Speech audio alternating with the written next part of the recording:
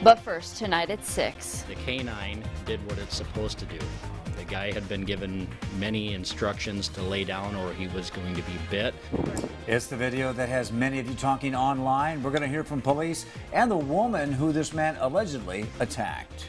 Good evening. Sioux Falls Police are conducting an internal review after what's become a high profile arrest. And we want to warn you that some of the video is disturbing. KELOLAND's Dan Santella was in court today when the aggravated assault suspect made his appearance and joins us with new information from police and court documents.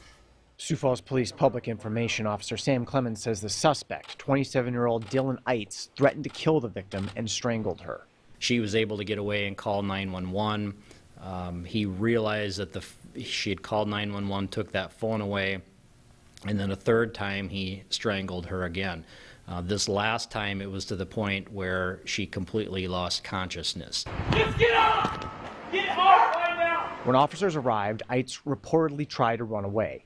Police chased after him through several yards before a canine officer spotted him a few blocks away. He was trying to hide in a window well. Um, I think everybody's probably seen the video that kind of kicks in at this point in time, but um, we have to remember from the canine handler's point of view, he knew that there was an aggravated assault domestic. He didn't know what the nature of that was. He didn't have any details of that. He just knew that we had a felony assault that had taken place. These cases, Clemens says, can involve a knife or gun. He says the officer ordered Eitz to get out of the window well five times. The guy came up and sat on the edge of the window well and wasn't following any directions. Uh, the, the officer was telling him to get down, to lay down.